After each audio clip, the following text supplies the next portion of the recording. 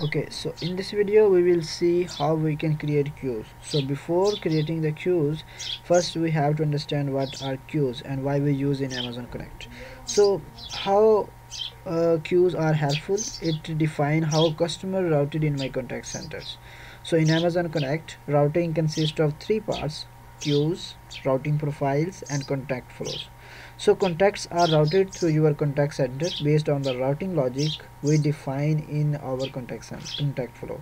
So you can also use routing profile to manage how agents are allocated to queues such as routing specific types of contacts to agents with specific skill sets.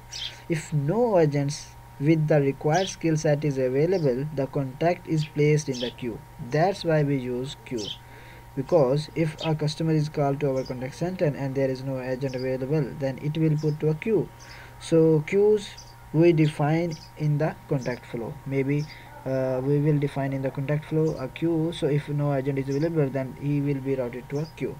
So that's why we use queues okay so queues allow contact to be routed to the best agent to service them. If you need to route contacts with the different priorities or to agents with a different skill set you can create multiple queues. Queues can be handled voice chat or both. Okay so let's just see how we can create queues.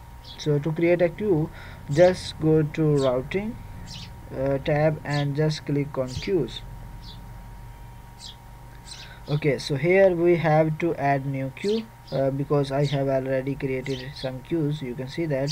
But if you want to create new queue then click on the uh, right button of add new queue and here you have to specify the name of the queue for example I am going to specify the name of the queue is HRQ okay. So okay.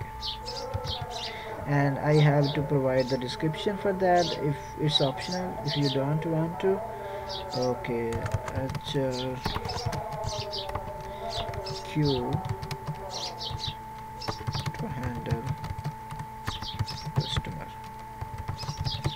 Okay and then we have to specify set of operation. As you can see that in previous video we have created hr uh, hours of operation so we can select that. And here you can specify these are optional.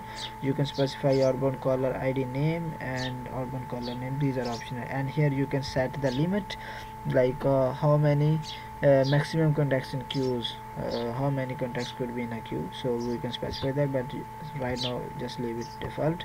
And here you can specify some quick connects. For example if a customer is calling you and your agent receive it he wants to deliver your customer call to another agent or he wants to deliver it some third party person then we can specify quick connects here like uh, our HR department wants to route the customer to the billing agents and then you can specify that here and he can uh, redirect to the sales queue okay? And if we want to redirect to credit card company then you can specify there. So it's optional. You can do that. So just click on add new queue and it will be added okay? As you can see that HR queue is created and it is enabled. So this is simple to enable the queue